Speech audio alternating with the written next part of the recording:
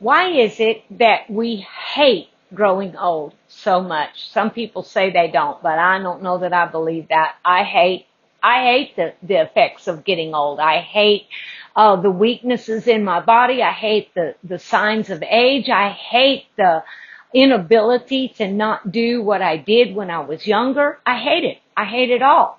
I hate it when you see loved ones die. Why is it that we hate that? Because we were never built. We were never created to experience aging, sickness, or death.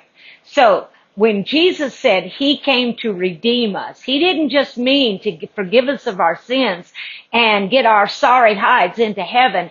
He meant, look it up, redemption, redeemer. It means to bring everything back to its original uh, state. Well, God's original state for mankind was for us to never die, never grow weak, never grow old. None of that. Why do you think the Bible says he's coming for a church, a bride without spot or wrinkle? Do you think that's just uh, an analogy for sin? If that's the case, then um, you know, then then wh- wh- why would he even say it? Because if you're born again, your your sin has been delivered. He's not. That's the, that's everybody, but not everybody's the bride. Who's he coming back for? The ones without spot or wrinkle. He's not just talking about sin. He's talking about he's coming back for a bride that isn't an old haggard looking thing. He's coming back for a bride that is uh that is glorious. He said he's coming for a church that is glorious. All right. That means, that means exactly what it says. And when it says without spot or wrinkle, I believe with all my heart. And I'm going to prove to you through the word if you'll hang on with me because we could go on this for a while because this is something God has been teaching me for 10 years now and I can prove it all through scripture that one of the things he meant when he said without spot or wrinkle is what is, what is the first signs of aging? Spots and wrinkles, y'all. In other words, he, he's saying to us, he's given us a clue. When I come back for my bride, you're going to be made youthful. And it's not just youthful. We're going to be fulfilling back to what we were created to be before Adam and Eve sinned. Now, uh, what do I want to bank that on? Want, well, it's a lot of places. What about Psalm uh, 103? He said he'll satisfy your mouth with good and renew your youth like eagles. Why is he talking about renewing our youth if he's not going to do it? God doesn't ever just spit words out there in a poetic thing that doesn't mean what he says. He means what he says. And he is the Redeemer. So once he has accepted that title, that name for himself, he has to fulfill that title or the devil can say, bow your knee to me because I'm the father of all liars and you just lied. You just said something you couldn't pull off. I'm telling you what is too big for God. What is too big for God? In, um, in Romans chapter 8, I love this chapter. It's just full of the mysteries of the future uh, purposes and plans in the heart and the mind of God. I'm telling you, He loves us so much. He wants to redeem us and restore us, spirit, soul, and body, including our bodies. Our bodies are included in salvation. The word sozo means completely. It's, it's everything. And that includes our bodies. But in Romans chapter 8 verse 2, it says the law of the spirit of life in Christ Jesus has made me free not gonna make me free, already has made me free from the law of sin and death. Now we believe that we have been redeemed from the law of, of, of, sin. I mean, we don't think we have to do the 600 and some odd commandments and stuff like that to deal with the sin in our lives. No, uh, we've been freed from that. Then why don't we take the second part of that verse that we have been freed from the law of sin and death? Why do we honor death? And we say this, you know, there's only two things that you have to do in life, and it's take, it's uh, death and taxes. Well, uh, I, I, I don't, I, I'm not buying that. The Bible says it's appointed unto man once to die, not twice, once. Okay. Well, the Bible lets us know clearly that when we got born again, that when Jesus died, we died with him. We, he, he, he took our, he took us into his death, burial, and resurrection. I've already died. And, and the whole call of the Lord Jesus Christ is to die uh, and, and you know what? When the Lord calls us to come into salvation, you know, people say, well, it calls to give you a better life. Yes, He does. But He actually, He actually calls you to come and die. And then I heard one guy saying God created marriage so that he could speed up the process of dying. I think that's kind of true. But anyway, he called us, and, and you know, Jesus himself said, except a corn, a corn of wheat fall into the ground and die, it abides alone. And if you seek to save your life, you will lose it. But if you lose your life, you'll save it. What is he saying? He's saying, if I, if I am fully 100% wanting everything that God's got for me in my life. And I am willing to die to the old to walk in the new that I don't have to physically die. There's been, there's, there's people that's not physically died before. I mean, Enoch was the first. Elijah was the second. Jesus died and then rose again to prove that we will rise again. Well, anyway, out of Romans chapter 8, verse 23, listen to this. Okay, listen to it. Really listen to it. Alright? This is great news, y'all. Don't, don't, don't let our small mindset keep what God is wanting to say to us walled out. Okay, uh, Romans 8, 23. And not only they, but ourselves also, which well, let me back up. For we know that the whole creation groans and travails in pain together uh, until now, and not only they, but ourselves also, which have the first fruits of the Spirit. Ephesians 1 says that we have the first fruits. What's the first fruits? It's, it's, uh, and it says we have the, uh, it's basically like the down payment, the, um, uh, where where we pay what do you call it? Uh, you pay down payment money for something.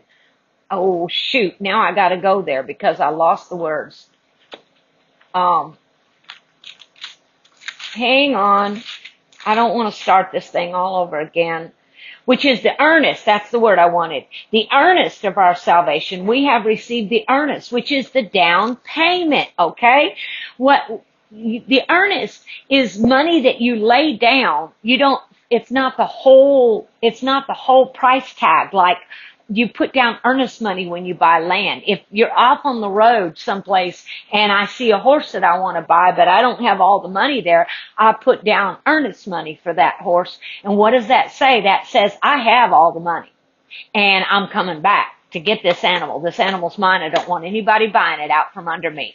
Well, Jesus, when Ephesians 1.14 says the, which we have received, well, 1.13, in whom we also trusted after that we heard the word of truth, the gospel of our salvation, to whom also after that we believed, you were sealed with the Holy Spirit of promise. Sealed. In other words, I'm buying you. And ain't nobody can take you out of my hands. Doesn't the Bible say nobody can take you out of his hands? You're mine, and I'm coming back for you. Which is the earnest of our inheritance until the redemption of the purchased possession unto the praise of his glory. So when we got born again, all we, he paid the full price, but all we're walking in right now is the earnest of it, the down payment. What's that? The 10%, y'all. And they even say, even science backs this up. They say that at best we're only using 10% of our brain and our, our faculties are only operating at a very low degree, even at birth, that we're not operating in 100% of what our bodies are capable of doing. Oh, I'll say, going back to Romans chapter 8. And not only they, but ourselves also, which have the first fruits of the Spirit, they're born again, we're operating in the first fruits, the, the down payment. Uh, even we ourselves, grown within ourselves, waiting for the adoption, and it says to wit, or in other words, the redemption of our bodies. Now we say, and, and this is, it, I mean, it's no big deal, it still flies, but it's not exactly what God meant. We say when you're in the, you're in the Christ, you're adopted into the body of Christ. No, I'm not. I'm not, I have, my daddy, when, my maiden name was Mangold. I got my daddy's name, not because I was adopted, but because his DNA was in me. When you're born again, you've got the DNA of the blood of Jesus in you. You are not adopted. You are a blood bought son or daughter. So what is he talking about adoption? And you know what? If you'll look up that word, adoption, it literally means to be placed in a position. And so we're born again. We're, we're sons and daughters of the Most High God. But he says waiting for. This is Paul who is writing this and he's born again, spirit filled, operating in miracles, revelation knowledge, going off and, and having exploration times with the Lord. You know, I was, I don't know if I was in my body or out of my body, but I went into the heavenlies and I did this and that. He is, he is, he is operating in so much of what is our rights to operate in, and yet he says waiting for the adoption. He's born again. He's not waiting to get saved. What is he waiting for? The adoption, or to wit, it, in King James it says, or in other words, the redemption of our bodies. So the fullness of salvation, the adoption of the Lord Jesus Christ that he's talking about is when our salvation isn't just operating in my spirit. My spirit man got born again the moment I made Jesus my Lord, the moment I invited him in and he became and I, I said, God, I want you in me. I want, I want you to own me. I want you to possess me. I am yours. My, my spirit got born again, but my soul, my mind, my will, my emotions, they still, they still got to be trained and dealt with and refined and redeemed and worked on by the word of God and all of that. I can still think ugly and still talk ugly and, and, and all of that. But then then when my soul starts accepting everything that God says about me, when my mind, my will, my emotions get in line with the Word of God, then what happens? My body will fall into suit. And it, when Jesus saved us, He saved us spirit, soul, and body. You agree, right? That's why obviously when, when people die and go to heaven, they get new bodies and their bodies are beautiful and youthful and all of this. But that isn't the fullness of what God wants to do. Uh, because he wants heaven to come into the earth. So he said, thy kingdom come, thy will be done in earth and guess what? Not only that's not only on earth, that's in earth. What is my body made out of? It's made out of earth. Thy kingdom come, thy will be done in earth. The will of God is not for my body to die. The will of God is not for my body to be sick. So he wants to have his will not only in my spirit, in my soul, but in earth as it is in heaven, in the, in, in the earth of my body as well as in the planet earth. Okay? So, I just, okay, let's just, this is just giving you entrance level right here. But let me go to something else. I can this can be proven all over the Word of God. It's so cool. The problem is it's hard to believe because we've never seen anyone who have who has had their youth renewed totally. It's never been seen yet on planet Earth. Uh, I, I know I've heard of people who haven't aged in in decades and all of that because they believed it. And um, uh, uh, well, what was his name? Taylor. Uh, shoot, I all of a sudden can't think of his name. Anyway, when, before he passed away, I think he was in his 80s or 90s, and he started looking uh, younger, and uh, uh, he looked like he was in his 60s. But you don't see that very much. But the thing is, we're seeing we're seeing evidences of it, like like when you're getting a, a you know tiny raindrops, but you're looking for the flood you know? God wants, in, in, in 1 Corinthians chapter 2, he says, eye has never seen, nor has ear heard, neither has it even entered into the heart of, uh, not even entered into your imagination what I'm about to do. So God is going to do some things that has never been seen on planet Earth before. So open up to new things. Don't let religion cause you to go, oh, oh no, we, we, you know, uh-uh, I never seen that before, so, eh, eh. no, he wants to do a new thing. Isaiah 43:18 says I'm, he's going to do a new thing. All right. But let's base this on a foundational principle. All right. At, uh, Abraham and Sarah are, are or were our covenant heads. They are the covenant heads for the gospel because before God could bring his son into the earth, uh, with by a supernatural birth. He had to have a couple that would believe for a supernatural birth.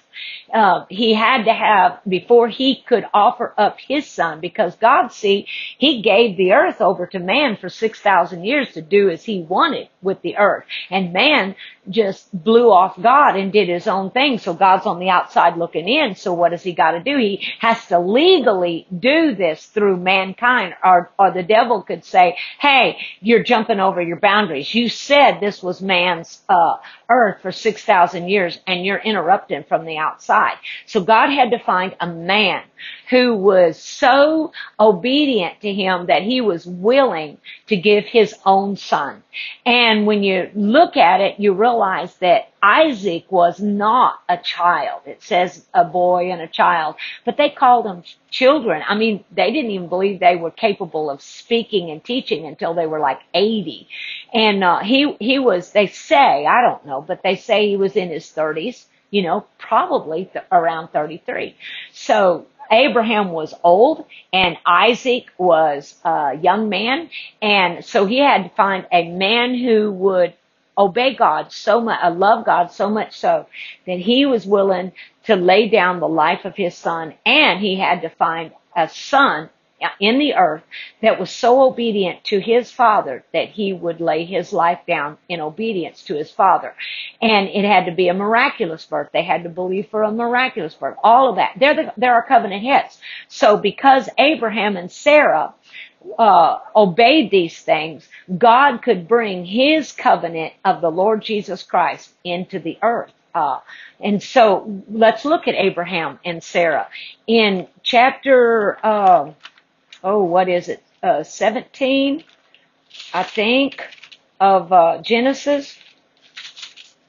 Uh, yeah, God came and He was talking to Abraham, and He cut a covenant with him and in verse 21, though it says, But my covenant will I establish with Isaac, which Sarah shall bear unto you at this set time in the next year. Okay, in a year from now, Sarah's gonna bear a child. Well, you look over here in verse 8, uh, chapter 18, verse 11.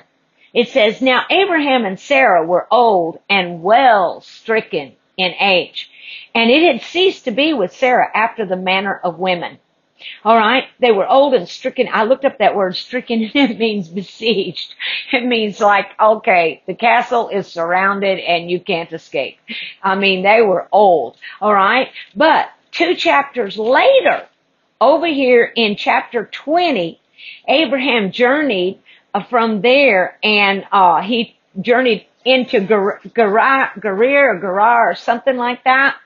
And, uh, and it says, um, that uh, Abimelech, Abimelech, I gotta check something right here. Uh, Abimelech, uh, saw Sarah and wanted her to be one of his wives. Okay, now she two chapters ago she was well stricken in age and and and and didn't have her menstrual cycle anymore. And and God said in one year's time you're going to have a child. Okay, so what that tells me is Nine months of that one year leaves three months. I mean, kind of. I've got, I'm, I'm like so good with math here. Um, so that meant in within three months of the time that God talked to them and said, a year from now you're going to have a son, He was going to have to renew their youth. He had to renew their youth. Now you got to understand this. They are our covenant heads. Everything that God does in the covenant heads or through the covenant heads is just a blueprint, a type and a shadow of what he will fully do at the fullness of that covenant. Do you understand what I'm saying? Then all of a sudden, within a three month time, God reversed the aging process in their bodies. He totally restored them to where within a few months time, because it was before she was pregnant. Before she got pregnant with Abraham, Abimelech wanted her and God had to get her out of that situation because Isaac was to be born. She couldn't have sex with anybody else but Abraham. So within a three month period, they turned from being old and shriveled up to gorgeous and youthful again. And and Abimelech wanted her, and then God rescued her out of that, and she had a child.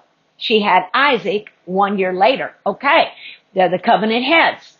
Everything that the covenant heads go through and get is a type and a shadow of what the covenant will fully bring forth in its fullness, in the full term of, of that covenant. This is the beginning of the covenant.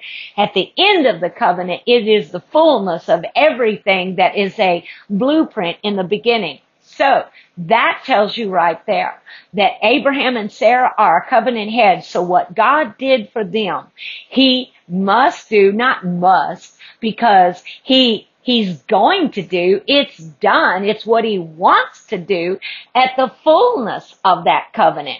He, he, so it's a restoring of our youth. It, when in the in the book of uh, Joel, where it says he will restore the years that the locust and the cankerworm have eaten, he he didn't say that he'll restore the things that the locust and the cankerworm have eaten. He said, I'll restore the years. There's something about this that God is going to remove the curse out of time. I don't know how to say it or how he's going to do it, but I'm telling you, it's God's word and it has to come to pass. And I'm excited about it. Now let's look at something else. I want to go back to Romans, alright? This is so cool. I love Romans because it's just so, it's so full of things that we're just discovering. All right. I, I heard about the, the experience that, uh, John Paul Jackson had with the Lord. John Paul Jackson went on to be with the Lord. Uh, and died a few years ago, but he had a major, major experience where he was taken bodily into the throne room of God. And God, of course, shielded him to where he could stand it, but it was heavy, heavy, heavy. It was a massive experience and took him in and, uh, and an angel spoke to him and told John Paul Jackson in this experience that at the end of days, that, uh, well, not, I mean, not, he didn't say at the end of the days, but in our time, all right, beyond John Paul Jackson's age. He said that God was going to open up a revelation that had not yet been seen out of Romans chapter 4.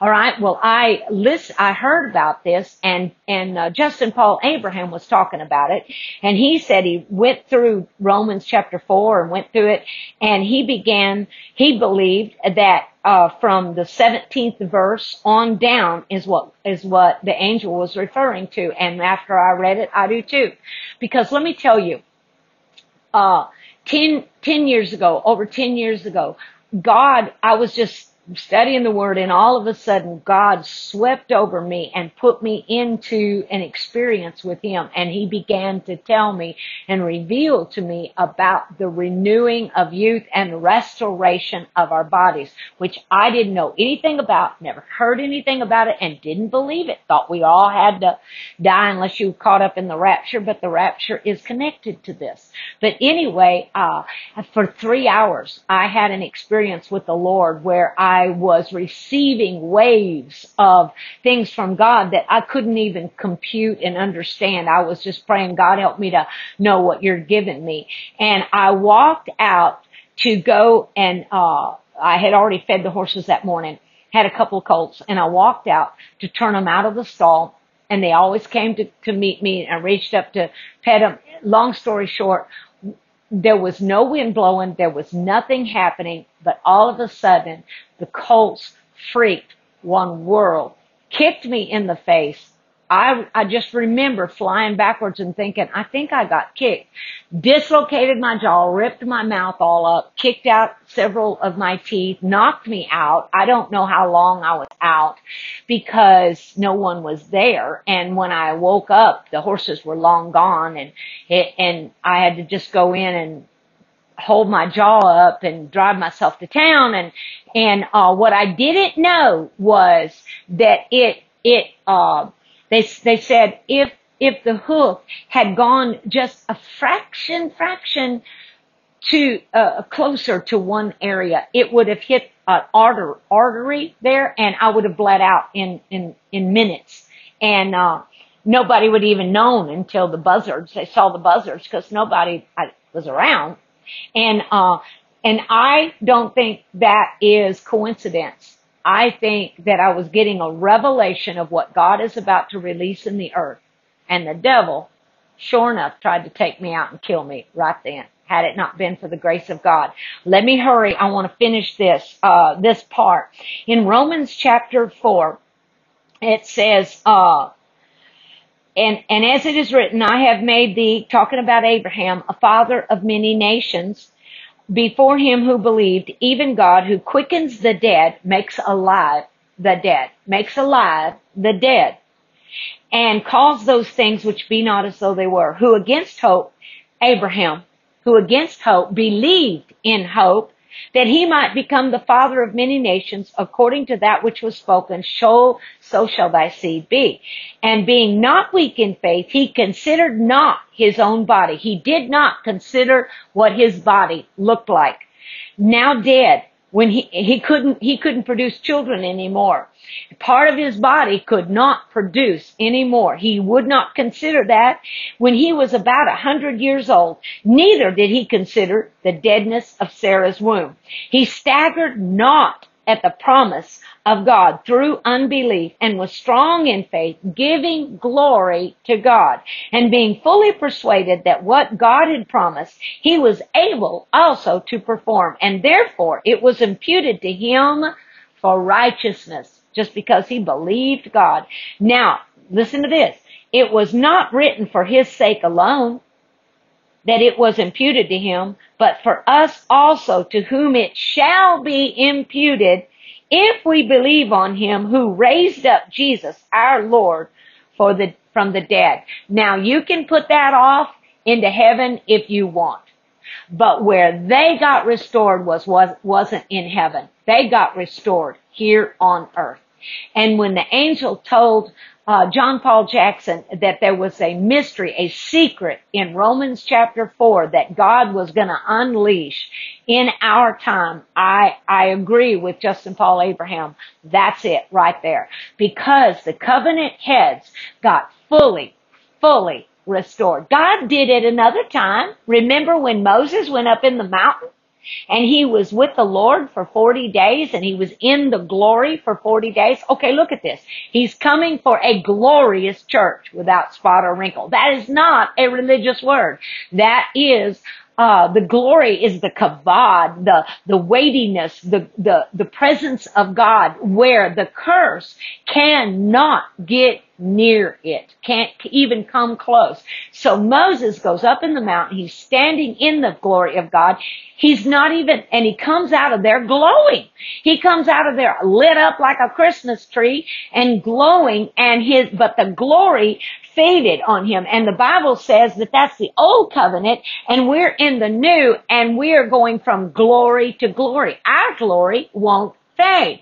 All right. But why did he have the glory and what did it do? It says later on that when God took him he had to kill Moses at 120 years old because he wasn't going to die because it said the moisture in his skin had not abated. In other words, his skin was still fresh. His eyes, it says, was still good and his strength was still sound. His body got restored. Of course it got restored because how can you, how can any curse or any, any evidence of, of the curse and sin uh, stand in the presence of the glory of God. It can't. So when the glory of God comes upon a people, oh, and the Bible says that his resting place shall be glorious. Well, look, I want to be his resting place. When Jesus said, foxes have nests, uh, have dens, birds have nests, but the son of man has nowhere to lay his head or rest his headship. But that was before he uh, paid for salvation. But now I'm born again. I'm saved and I am the temple of the Holy Ghost and he wants a place to rest. And he said his resting place will be glorious. And he said the glory on the latter house will be far greater than the former. He's not just talking about a brick and stone and, and, and gold covered building. He's talking about the tabernacle that he will raise up. He said he will raise up David's tabernacle, which is a, is a symbol of us, our bodies, our tents. He's going to glorify our bodies on this earth and redo. It's going to hair lip the devil, y'all. I hope you enjoyed this. I want to talk about this more later. Thank you and God bless you. Crystal Lyons, Cowgirl Logic. Thank you.